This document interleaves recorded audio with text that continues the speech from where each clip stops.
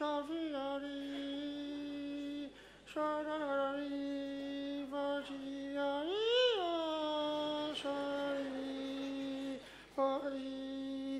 傻傻的你傻傻的你傻傻的你傻傻的你傻傻的你傻傻的你傻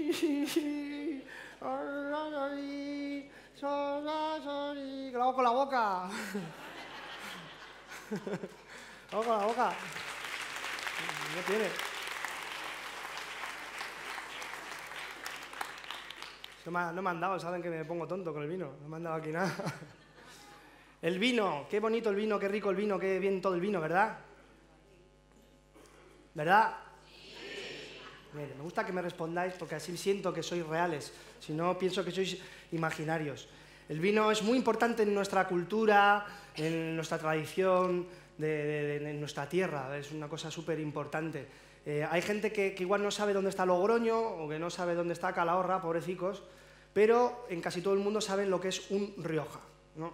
Esto hace que cuando tú estás fuera de La Rioja y estás comiendo con gente, eh, a la hora de pedir un vino, todos se giran hacia ti y hacen, eh, eh, tú, eh, tú, tú. Porque dan por hecho que por ser, por ser de, de- La Rioja tienes que saber de vinos. Eso es como, como si da- damos por hecho que por ser brasileño sabes de fútbol, o portugués sabes de toallas, o si eres sueco sabes desmontar muebles. No es, no es real. No es real. Y aquí estoy yo para daros una serie de consejos. Voy a, voy a hacer un poco de, de- de así de subirme. Em, una serie de consejos para salir airosos de cualquiera de estas situaciones, ¿no? Eh, de una posible cata repentina. Tú estás en, en un restaurante y por consenso popular del resto de la mesa han hecho sus pactos y han dicho que tú vas a elegir el vino. Entonces el camarero te sirve el vino y espera pues, tu, tu aprobación. Eh, en ese momento tú tienes que hacer algo, o te tienes, es muy importante la actitud, ¿me entendéis? O te tienes que sentir como un ministro, ¿vale? O sea, tiene que parecer que, que sabes lo que haces aunque no tengas ni idea. Tú tienes que agarrar muy fuerte, muy fuerte la copa con firmeza, no como Sergio Ramos. Tú la agarras bien, con delicadeza también porque es una copa, pero la agarras y la giras. ¿Por qué? Porque si giras tú es muy absurdo, no tiene mucho sentido, y porque, y porque eh, el, vino, la- las botellas son como las habitaciones, ¿no? De vez en cuando hay que, hay que airearlas. Entonces el vino se airea. Y en ese momento eh, procedemos a olerlo. ¿Cómo se huele un vino? Con la nariz. Muy bien. Un proceso muy sencillo. Metes la nariz en la copa y hueles. Para esto recomiendo que no os la llenen mucho porque entonces haces burbujas y se estropea un poco el vino se- y gotea, queda sucio, no, no gusta, no gusta. Lo mejor es que, cerréis los ojos, que parezca que estéis concentrados, entonces vosotros eh, oléis el vino, ¿no? concentrados en vuestras cosas, pero concentrados, lo oléis, que suene, que mola que suene, y miráis hacia el techo intentando recordar dónde habéis dejado el mando a distancia. Intentándolo. Podéis hacerlo varias veces porque así parece, o sea, tú debajo la mesa, mm, mm, el, en el bolsillo de la bata. Y cuando ya te acuerdas dónde lo has dejado, ¿no? pues estás eh, en la nevera, está en la nevera. Lo repites, vuelves a oler y dices, "Mm, en la nevera. Todo eso para ti. Eso es muy importante, ese proceso. Ahora viene el momento del el color del vino, de ver el color del vino, porque el vino te dice cosas. Si eres un experto en vinos, bueno, si eres un experto en vinos no hace falta que yo te explique nada, pero bueno, si eres un experto en vinos o eres una mujer, mm, podrás percibir matices eh, violáceos, añiles, eh, eh, color teja, eso queda siempre muy bien, cerezas. Si eres un hombre vas a ver vino. Morado, rojo, eh, granate, si eres un poco, pero vas a ver vino, o sea, no, no, no te exijas demasiado. Entonces yo aquí os recomiendo que levantéis la copa y te imagines que te estás haciendo un selfie. ¿vale? O que estás buscando cobertura, igual da. Pero tú te, te pones así como un rato, ¿sabes? Como no sale bien, un rato, un rato, y, así, un ratico. Luego viene el momento interesantísimo que todo el mundo espera, que es que pruebes el vino. Aquí lo que hay que hacer es llevarse eh, la copa hacia los labios lentamente, dar un trago, no deis dos, no deis tres, se trata de probar, no de saciarse, ¿eh? hay que dar un poquito, hay gente que no. ¿eh?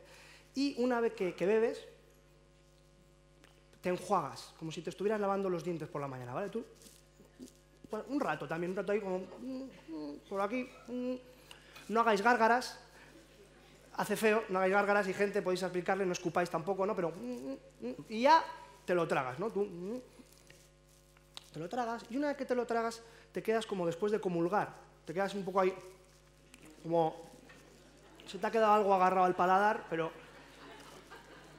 es así, y vuelves a pensar en dónde has dejado el mando, ¿no?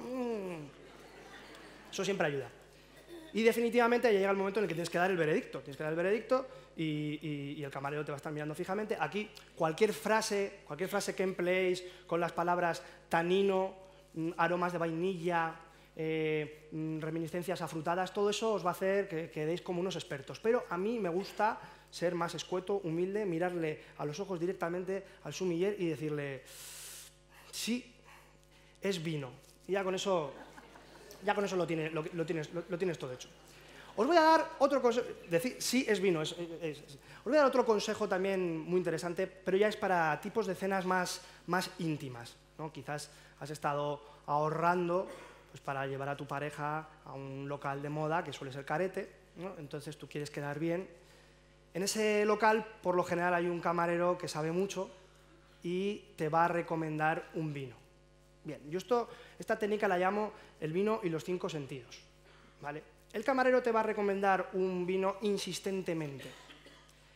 En ese momento yo os aconsejo que miréis la carta de, de reojo y veáis el precio del, vino. Eso, yo eso lo llamo olfato. ¿vale? Posiblemente eh, eh, el, camarero, aunque tú le has dicho que no, te siga diciendo, no, bueno, pero es que este vino. Eh, y añadirá, la dama va a quedar muy satisfecha con la elección. Entonces tú tienes que mirarle fijamente a los ojos como queriendo quemarle las córneas y despeinarle la coronilla y le vas a decir, eh, un vino joven de la casa estará bien, estará bien, estará bien, estará bien, estará bien. Y inmediatamente cogerás un Almax del bolsillo y te lo meterás en la boca. Eso es vista, porque luego posiblemente ocurra algo.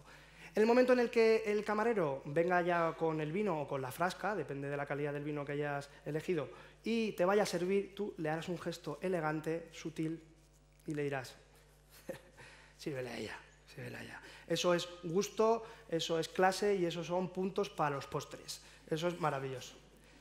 En el momento en el que tú pruebes el vino, quizás te das cuenta de que la elección del camarero era mejor que la tuya y en ese momento tendrás que decirle también sutilmente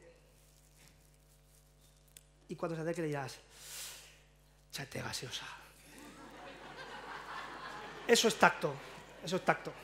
Y para el oído, pues lo guardamos para escuchar las actuaciones que vamos a tener ahora, y que la que viene eh, justo ahora, si no recuerdo mal, son el grupo de danzas de Ezcaray, que nos van a hacer la danza de los arcos y la danza de los palos. Pido un aplauso muy fuerte para ellos.